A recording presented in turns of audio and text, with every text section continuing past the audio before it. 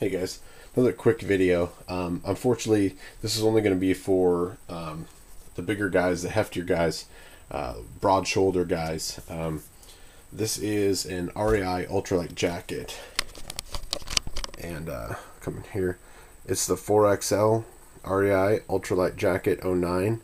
Um, I haven't really thoroughly tested this jacket, but I want to show you all of them that are coming out right now for the spring are 120 bucks and right now the 4XLs the what they call extended sizes are um, on sale for 30 bucks. So you get their version of their waterproof breathable Gore-Tex um, in the size it's about an Nalgene um, container. I put the uh, canteen in there for size comparison. Um, well I got the scale from another video here. We will weigh it. This is a stuff sack and everything.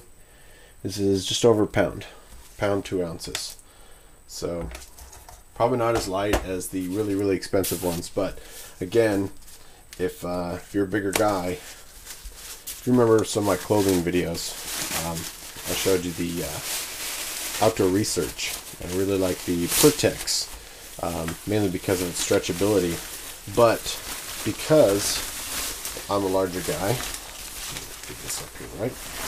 Um, I was unable to it was great in the summertime but in the winter months um, one of the things i noticed this winter going out is if i had my puffy um, jacket on and i put the or one over the top it compressed down a lot. Um, it was really when i had a lot of layers on it wasn't that comfortable and it's because it was a 2xl now that's the biggest that um, outdoor research makes they don't have an extended sizes and so luckily REI does a great job.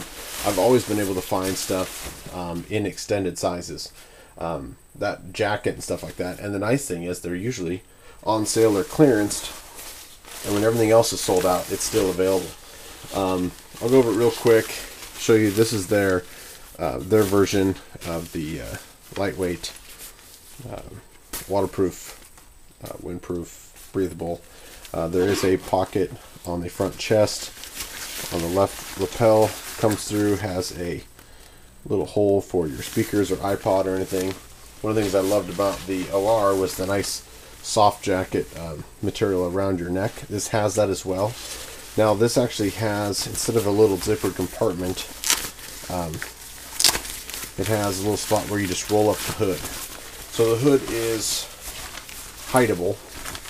It is also removable. There's a zipper across the back.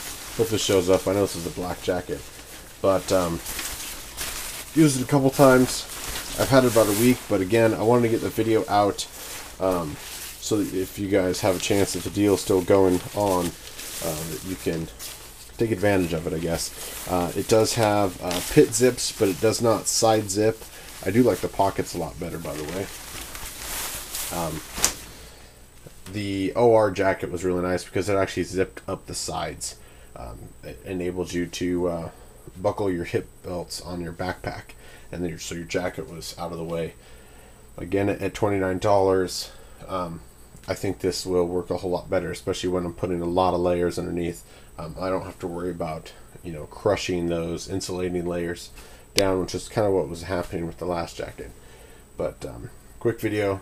Sorry, I hope it doesn't show up too well, but uh, check REI and see if the deal's still going if you're a big guy.